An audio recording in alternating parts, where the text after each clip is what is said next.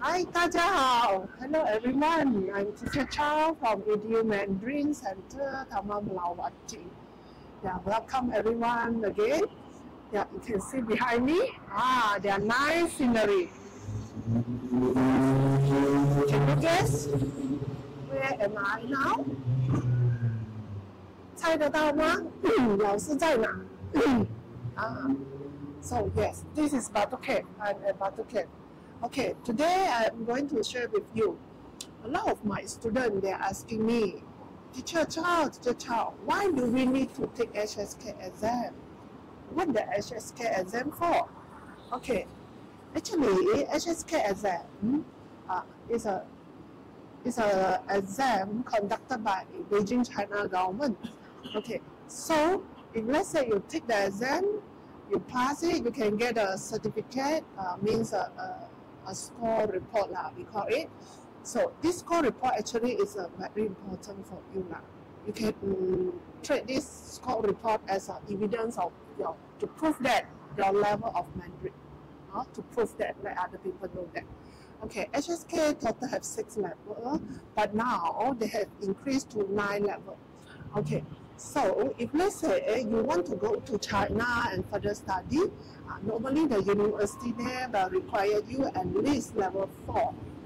So why do you need to take HSK exam?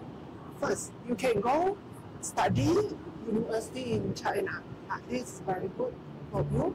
And secondly, of course, let's say you get the score report, this is the proof for you, you have learned Mandarin, and then your uh, Mandarin level. So it's good for you when you go for a job interview. Uh. Well, nowadays, you can see a lot of advertisement. They'll put that uh, Mandarin is uh, required, or sometimes they will say uh, if you know Mandarin, uh, it's better, something like that. So to know more languages actually is good for you, especially Mandarin nowadays. Uh. So that is my sharing for today. 再见，拜拜。 Why, why you need to take HSK examinations?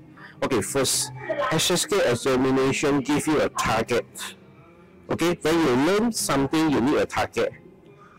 Okay, that gives you a directions. In this year, I want to complete HSK 1.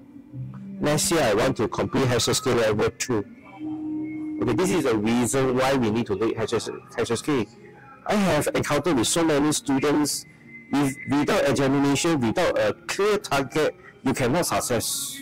Okay? Even though you tell me that you don't need this a examination, you don't need certificates. I just want uh, to make sure I can speak, I can understand. But in the journey of learning a new language, you need to have a target. So HSK examination is a systematic way to test yourself and to give you a goal, okay, that enable you to uh, go through this journey longer and more efficient. Okay, thank you very much. I am Mr. For EDU Mandarin KL.